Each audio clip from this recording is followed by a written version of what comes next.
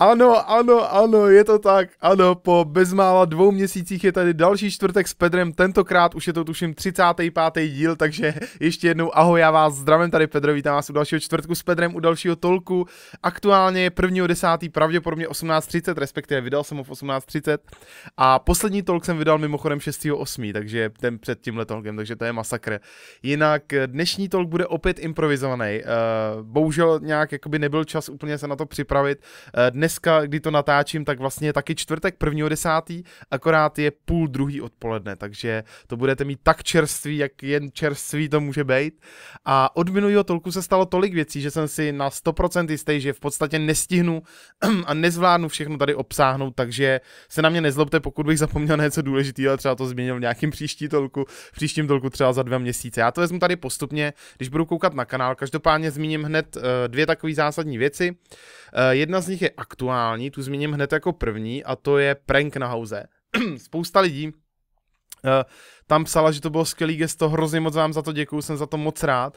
A dost lidí tam i psalo, že to je fake, jo, lidi. Uh, a pos- hodně lidí tam psalo i, že je to reklama. Takže já bych chtěl tady jakoby v tom tolku všechno uvíct tak jako na pravou míru. Uh, fake to rozhodně není, fake to rozhodně není. House absolutně netušil, absolutně netušil, co se na něj chystá. Reklama to rozhodně je, ano, i jsem to tam říkal v tom videu, že prostě ten notebook jsem dostal od Lenova a samozřejmě byla podmínka udělat nějaký video, udělat nějakou náležitou jako jakoby reklamu. A prostě tak to bylo a tak to bylo daný, já jsem si to s nima takhle domluvil, uh, jim se ten nápad líbil, takže nakonec si myslím, že to klaplo fakt výborně. A myslím si, že jsou všichni spokojení a já jsem rád, že jsem mohl takhle jakoby Houseovi udělat radost, protože fakt já vám říkám, že on vždycky, vlastně vy jste ani pomalu podle mě nemohli vědět, že House ten notebook má, protože on se, on fakt jakoby ho ukazoval snad jakoby jenom mě, nebo já jsem věděl, že má takovýhle notebook. A on furt říkal, že prostě chce nějaký dobrý notebook, že si plánoval, co si koupí a podobně. A já už ten notebook notebook tuším, mám tady v kanclu měsíc schovaný a prostě jsem čekal na ideální příležitost a zrovna se naskytla uh, takhle nedávno, takže jsem toho využil a jsem rád, že se vám ten prank líbil. Spousta lidí tam jakoby si trošku stěžovalo, že si jako nevážím peněz a že jsem jako rozmlátil jako starý funkční notebook, což je jako pravda relativně. Trošku jakoby musím zpytovat svědomí, možná to šlo vymyslet trochu líp, ale na druhou stranu si říkám, že prostě ten rozbitý notebook jako fakt byl velký zlo. Fakt to byl velký zlo. Mimochodem, já ho mám tady ještě na zemi se, se skládaný, ještě jsme ho nevyhodili. Takže možná ten hard disk bude zachránit. Já vám ho někdy ukážu třeba nějakým streamu. Zatím tady vedle mě leží, já ho můžu zachrastit, počkejte. Doufám, že jste to slyšeli. Ale uh, za ten notebook byl fakt jako velký zlo. A za druhý, prostě já jakoby ten rozbitý notebook beru jako nějakou investici nebo nějaký vklad do toho, aby to video bylo dobrý, aby prostě se líbilo, aby mělo nějaký jakoby drive, jo. Takže na jednu stranu to chápu, na druhou stranu to by mi někdo mohl říct, že když jsem dělal promo video prostě na Bagetery Boulevard, tak jsem si tam koupil písničku, která mi stála necelých 6 stovek a taky by mi někdo mohl říct, že to jsou vyhozené peníze, že jsem si to mohl stáhnout z YouTube knihovny, ale to je prostě nějaká, jakoby, já jak říkám, to beru jako investici do toho videa a prostě chápu některý lidi, uh, možná se i trochu stydím, na druhou stranu si říkám, že to prostě budu brát jako investici do toho videa. Mimochodem, pokud jste ten prank neviděli, tak já dneska budu mluvit o dost videích takhle zvlášť zvláštních, takže všechny máte v popisku videa, ten prank by tam měl být snad jako první, takže hned jako první máte prank. A víc už to nebudu zmiňovat. A hned jako druhý video, hned jako druhý video, tam budete mít hodně zásadní video, který jsem točil, docela už je to taky díl.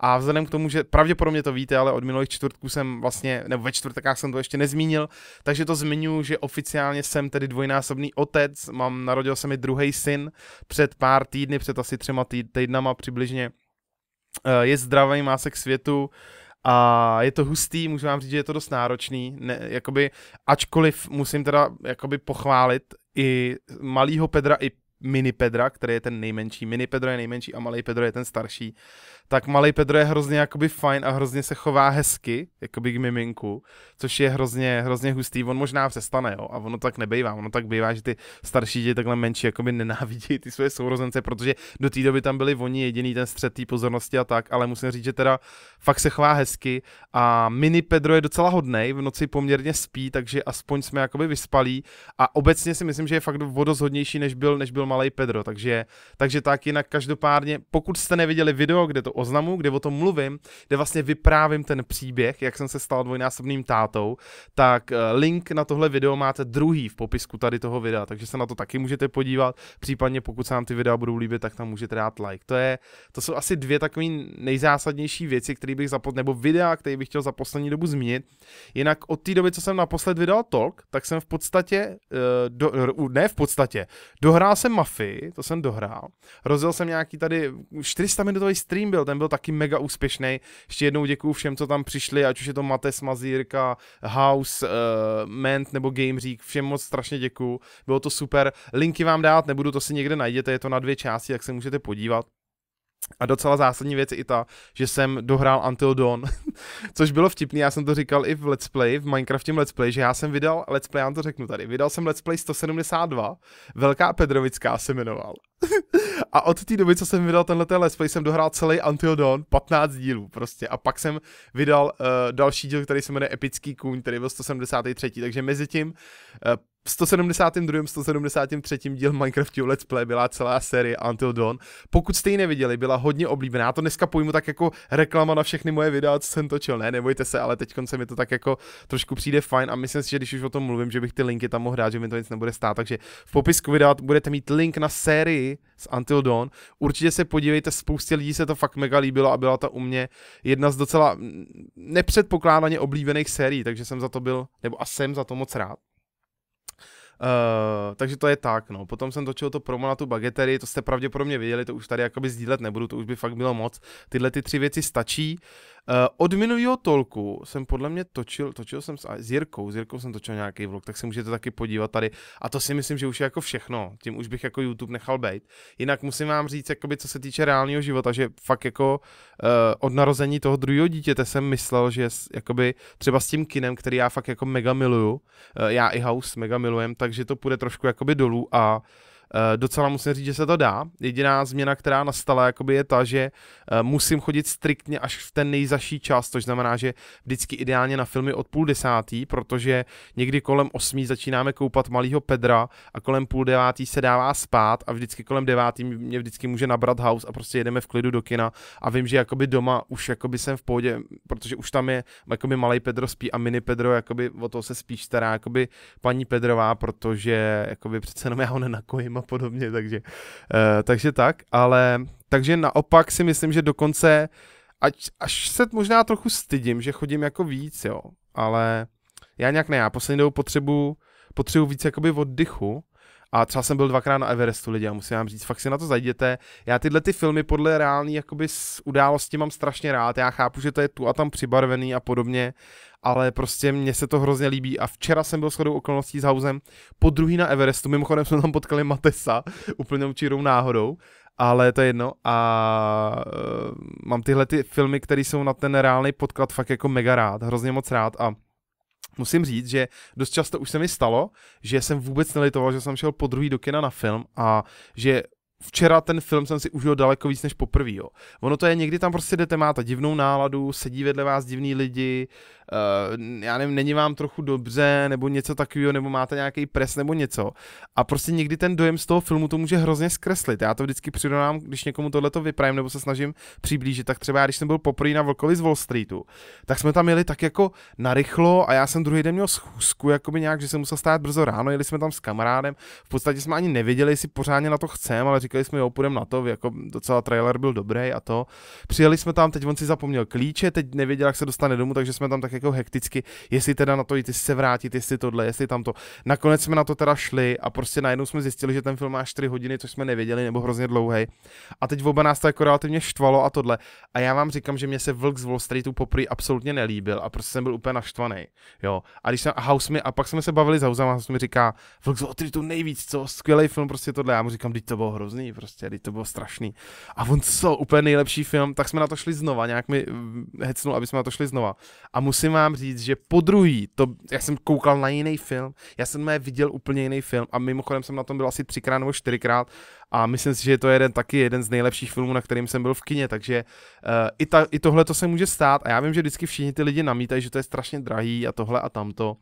Na druhou stranu lidi, sorry, ale Uh, prostě třeba film jako je Everest si prostě neužijete doma jako na kompu, tak jako si to užijete v kině. Vy já teda můžu, můžu jakoby se tady přiznat veřejně k tomu, že jsem trošku zavárezil a že jsem se chtěl podívat na ten film v hlavě, takže jsem si ho někde si jakoby zkusil stáhnout a bylo to v nějaký úplně nechutný kvalitě, prostě hnus, nechutný, nedalo se na to koukat a já jsem si říkal a smazal jsem to a říkal jsem si, to vůbec ne, jako prostě nemá vůbec smysl várezit filmy. Ten film, prostě z toho filmu máte desetinu, desetinu. Já neříkám, OK, on za nějaký půl rok nebo já nevím, jak dlouho bude někde v dobré kvalitě možná, ale i tak prostě doma u toho monitoru já si ten film absolutně tak neužiju, protože furt odcházím se vyčůrat a furt si odcházím něco udělat a pak tady koukám na YouTube statistiky a pak musím něco jít to. Takže prostě v kině se soustředíte jenom na ten film a máte z něj fakt stoprocentní zážitek, takže, takže to jsem chtěl jenom tak zmínit ohledně těch filmů a ohledně toho Everestu. Ještě jsem chtěl zmínit další věc, v minulém tolku jsem říkal něco o profesionálním rybáři, já už vůbec nevím, eh, v jakém kontextu to bylo, Každopádně musím říct, že od minula jsem byl už hodněkrát rybařit. Povedlo se mi chytit nějaký slušný úlovky. Pokud nemáte like na mém Instagramu, tak si ho tam dejte všechny tři takové nejzásadnější moje zatím úlovky tam mám. Mám tam malinkýho kapříka, který jsem chytil, pak tam mám lína, což je docela vzácná ryba, sice taková malinká, ale docela jakoby vzácná, taková hezká jakoby ryba. A nedávno, myslím, minulý týden jsem chytil asi největšího cejna, co jsem kdy chytil, který měl určitě přes 55 cm a minimálně 2 kg. Já jsem to tak jako měřil a vážil hodně jako sporadicky, jenom tak jako minimum, co mohl mít. Pravděpodobně měl víc teda, jo. Neříkám o moc, ale pravděpodobně měl víc, ale tohle je prostě minimum, který jako jsem si pro jistý, že měl. A můžete se právě podívat na tu fotku na Instagramu, jak mám toho velkého cejníka, no, takže, takže tak. A musím říct, že ty ryby jako by mě nějakým způsobem baví, ačkoliv jsem si říkal, že to bude zase jeden z mých jakoby rozmarů, kdy já se pro něco vždycky dokážu hrozně natchnout a po měsíci mě to přejde a zatím teda musím říct, že ty ryby jako mě baví docela. Že ty ryby mě jako fakt baví a je to asi tím, jak jako dost často sedím za kompem a prostě tohle je takový ten únik jakoby do rádoby přírody, a jakoby řešíte tam takový jakoby jednoduchý úkoly, který běžně jako člověk neřeší, jako co dám na háček a jestli jsem to nahodil do správného místa a jestli jsem správně navnadil ty ryby a jestli jsem si zvolil správnou dílku návazce a jestli mám dobře navázaný háček, já nevím co všechno prostě jo. A je to takový jakoby hezký, no, takový jakoby relaxační, se dá říct, no až. A s tím se váže ještě trošku druhá věc, s tím, jak jsem tady zmínil i to kino, i ty ryby, já už jsem to trošku nastínil i na Facebooku, že, ještě znova zmíním, že dejte si like na Facebooku, uh, že plánuju takovou velkou zásadní změnu, respektive ona už jako jsem jí rozhodnul. Já do teďka nevím, jestli jsem udělal dobře nebo ne, já o tom budu točit ještě takový speciální video pravděpodobně. Uh, já vás jenom prosím, abyste mi drželi palce, abyste mi přáli štěstí, že jsem zvolil správně, nejsem si tím úplně jistý a mám z toho upřímně strach, upřímně z toho bojím. Uh, možná asi někdo tuší, pravděpodobně bude všichni tušit, ale prostě nechci to říct úplně na plnou hubu ještě tady. Takhle na to si, to si nechám na tohle nějaký speciální video a jsem z toho trošku nervózní. Na druhou stranu věřím, že to bude plus do mého života, obecně celkově do života i mýho okolí a uvidíme no, uvidíme, co se stane. Uvidíme, co se stane, nebo jak to bude, nebo nebude ale uh, já v podstatě asi už ani nemám co říct, jako, já už asi nemám co říct, no. Jinak v sobotu se chystám na Road to BlizzCon, pravděpodobně, budu tam točit nějaký video, dostal jsem nějaký VIP lístek přímo jakoby od Blizzardu, nebo no, od Blizzardu, od Primy jsem dostal lístek nějaký, takže, takže tam asi zajdu, eh, vezmu sebou i kameramana Vláďu, který teď mi točil ty poslední videa na ten z těch motokár a právě i to, to, i tu bagetery, tak uvidíme, jestli něco natočíme, nebude to promo video, to vám říkám tady rovnou, prostě nemám za to žádný peníze, jenom jsem si říkal, že pokud to mi to přijde zajímavý, pokud ta akce bude pěkná, ono je to v Outu aréně, mimochodem je to zadarmo, tak to můžete přijít, takže z toho natočím video, ukážu vám to takhle. Ale nečekejte, že tam někdy budu chodit a podepisovat se a podobně.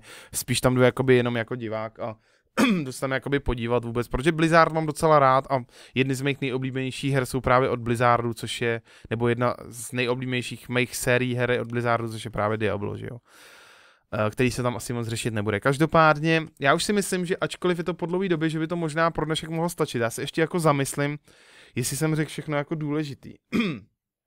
jsem řekl všechno jako důležitý.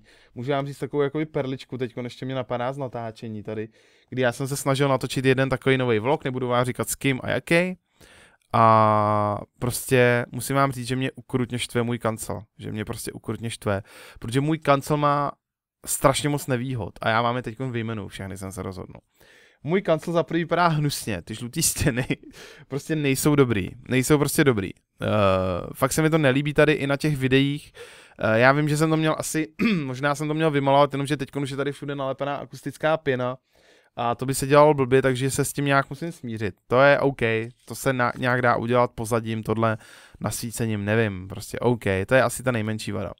Druhá vada je to, že mám tady úplně dementní dveře, přes který je prostě slyšet na chodbu a já jsem v takové budově, kde, ve které je víc kanceláří, takže je to poměrně složitý a právě když točím třeba v takovýhle čas, jakoby, kdy normální lidi ještě pracují, tak je, jakoby je to docela takový nepříjemný, když venku slyším ty lidi jakoby na chodbě chodit, jo ale vyřešil jsem to tím, že na, na dveře dám akustickou pěnu, což jako OK, dobrý, tak fajn, to zvládnem, fajn.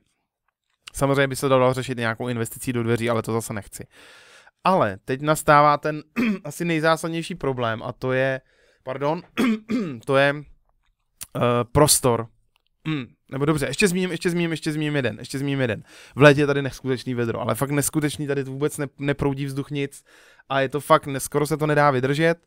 A ten poslední teda problém, jak už jsem teda nakousnul, je prostor a právě jsem tady točil, proč to říkám, právě jsem tady točil video nějaký, nebo chtěl jsem točit video. No, každopádně mi to prostě nešlo tady nějak pořád nastavit tu scénu, pořád mi někde vadilo, něco mi někde čouhalo, nelíbilo se mi to ta kompozice a prostě nakonec jsem úplně to video skrečoval a, nebo respektive my jsme začali natáčet a pak mi ještě zrcadlovka zahlásila, nejhorší hlášku, co vám může Canon EOS 70D hodit za nejbil, nejdebilnější chybovou hlášku je, uh, jak to bylo, nahrávání se automaticky zastavilo nebo přerušilo. A to vždycky mám chuť s tím foťákem, no má chlehnout vozem, takže to mě fakt jako dost jakoby rozladilo ještě víc a řekl jsem, já na to prostě kašlu, natočíme to jindy, protože ze zvyku to mám takhle, jakmile něco takhle nejde a potom by to člověk jakoby tlačil uh, přes tu jakoby přirozenou jakoby energii nebo přes to přirození, teď jsem to řekl smáli špatně, tak, uh, protože já věřím tomu, že chápete, jak to myslím, tak to vždycky to video, nebo to video prostě by nedopadlo dobře. A řídím se tím fakt hrozně, hrozně už často,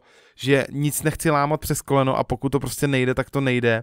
A prostě bylo to tuším dva dny zpátky a třeba příští týden to zkusíme zas, třeba se nám to nějak povede a tohle tamto, ale prostě nechci nic lámat přes koleno a myslím si, že to je tak dobře. Každopádně to už byla asi poslední věc, kterou bych chtěl tady zmínit tak jako tady ještě rozlídnu, co bych zmínil, ale asi už je to fakt všechno, takže já už vám pro dnešek děkuji moc za zlídnutí, za poslech. Podívejte se na všechny ty videa, máte je v popisku, povinně se každý podívejte.